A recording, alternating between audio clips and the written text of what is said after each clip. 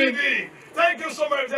Thank, you so very much. TV Báyọ̀ o nìyẹn tó máa ń sọ ìròyìn. Báyọ̀ o, thank you so much. Mo dúpẹ́ lọ́wọ́ ẹ o.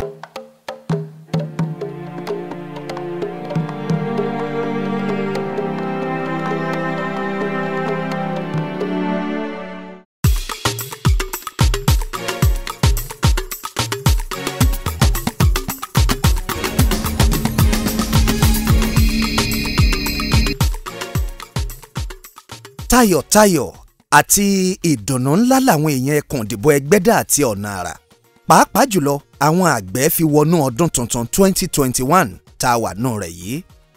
Ṣebí kọ́lọ́run ọba ó jẹ́ kí èèyàn rẹ ní rìn bá rìnrìn àjò ni?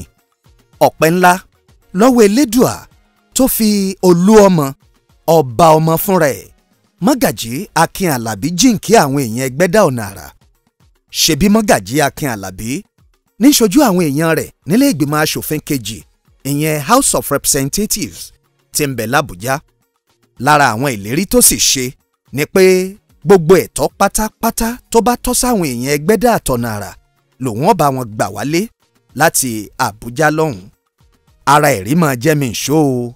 Ṣíṣíkà àdéhùn ní ti bí honourable akin alábí ṣe ṣe atọ́nà ọ̀pọ̀lọpọ̀ irúgbìn yanturu wá fún àwọn àgbẹ̀ àròkò bọ́dúndé kóúnjẹ ó lè bá a sùn wọ́n bọ̀ lẹ́gbẹ́dà àti ọ̀nà àrà kíṣòro ebi ọ̀pàgbà fọwọ́ mẹ́kẹ́ ó sì lè bá a dóhùn tán.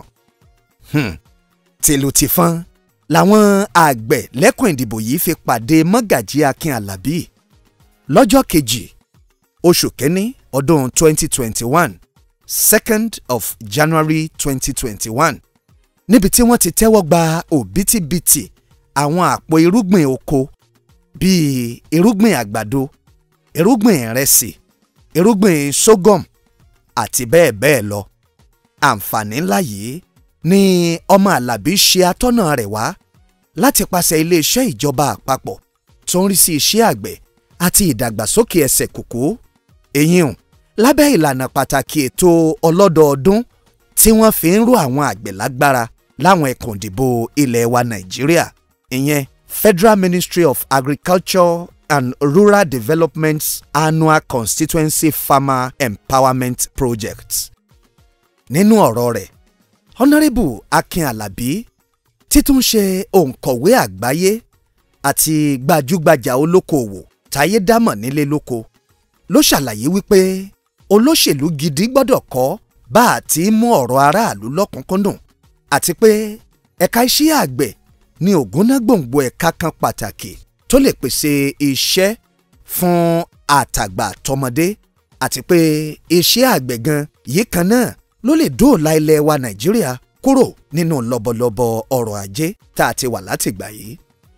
bẹ́ẹ̀ ló tún rọ àwọn àgbẹ̀ tó jàǹfààní irúgbìn ọ̀hún láti rí i pé wọ́n gbin irúgbìn náà ní o kí wọ́n ó mọ̀ lọ́rẹ̀ẹ́ máa ṣe jẹ o nítorí pé àmọ́dún ò jìnnà kéèyàn mọ̀ mí èbùsùn jẹ. Ọ̀pọ̀ àwọn lẹ́gbẹ́lẹ́gbẹ́ lọ́gbàlọ́gbà tó ní nǹkan ṣe lẹ́ka iṣẹ́ ọ̀gbìn ló péjú pésẹ̀ síbẹ̀. Kódà tó fi mọ́ àwọn aṣíwájú bíi baálé àgbẹ̀ àwọn olórí ẹgbẹ́ àgbẹ̀ àwọn olórí alágbègbèjàgbègbè àtàwọn adarí ẹgbẹ́ òṣèlú lẹ́kùn ìdìbò ẹgbẹ́dà àti ọ̀nà àrà.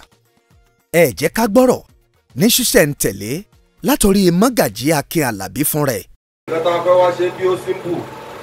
Nǹkan tá a fẹ́ wá ṣe gangan ni pé ká distribute kìíní ìgbọ́njú pé ká sọ̀rọ̀ sọ̀rọ̀ sọ̀rọ̀. Níta wá ṣe ká pín àwọn seeds yìí ni. ṣẹ́rí iṣẹ́ wa gẹ́gẹ́ bí honorable? Fọwọ́n tó mọ̀ bí. Iṣẹ́ wa ni pé ká ṣe òfin? Ká bọ́ sórí floor? Ká jiyàn? Kí wọ́n lẹ́nìkan dábàá kan báyìí. Ká sọ pé a tẹ̀lé pé afẹ́dá skul kan kọ́ di ká ní àìjọba olówó mo fọwọ́ sí mi ò fọwọ́ sí gbogbo nǹkan nípa nàìjíríà ká mọ jiyàn ká mọ dìbò ká mọ sọ pé la ṣe fẹ́ kó lọ. A ní agbára láti sọ pé à ń ṣe títì à ń ṣe skul à ń ṣe nǹkan àgbẹ̀. Ṣùgbọ́n ó yé wa pé àwa ni ẹ mọ̀. Mínísítà mélòó lẹ mọ̀? Gómìnà mélòó lẹ́lẹ́ lọ kànlẹ̀kùn ẹ̀? Àbí pírẹsidẹ́ǹtì lẹ́fẹ́ lọ bá ní àwa náà la àwa náà lẹ́lẹ́ wá bá àwọn ọ̀nàrẹ́bù tọ́lá ìgbà tá à ń àwa la wá bá yín. Buhari ò wá bá yín kọ̀ọ̀kan kò wá sádùúgbò. Àwa tá à ń lọ káàkiri rè. So àwa náà lẹ́wàá bá. Ìyẹn ló wá mú wa káwa náà wá má jókòó lásán. Àwa ń lọ káàkiri gbogbo ministry àtẹ́jẹ́sí pé kí ni àwọn èèyàn nílé lè rí gbà níbí? Kò tẹ́ ẹ̀sìn bó ṣe fẹ́ kéré tó a máa lọ ministry of power à ń lọ agriki à ń lọ gbogbo ẹ̀ káàkiri education.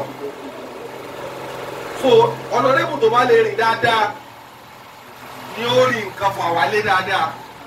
Tó yé wa? Irú eléyìí ní ìsìn kò ń ṣe bá pẹ́ agbára mi ni mo fi pé wá bọ̀ torí pé mo mọ̀ ọ́n rìn débi pé mo rìn lọ sí ministry of agric ni fi ṣe léè fún wa. A ṣe health center kan ní oko wa lájọ mo rìn lọ sí agency tó ń ṣe ni. Mo fi fà wọ́n láti wá ṣe.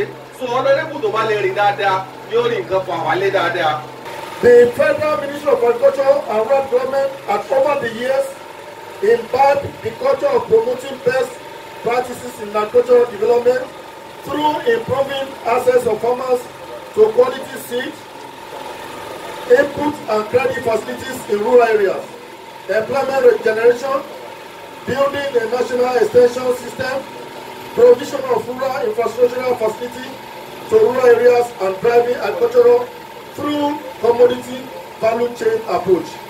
On this note, I want to bring to the notice of all the participants present here today that the federal government of Nigeria, in its effort at ensuring the goals of food security and economic diversification, is achieved partner and mandated the federal honorables to take, up the challenges of empowering their constituencies in agriculture as part of their constituency projects.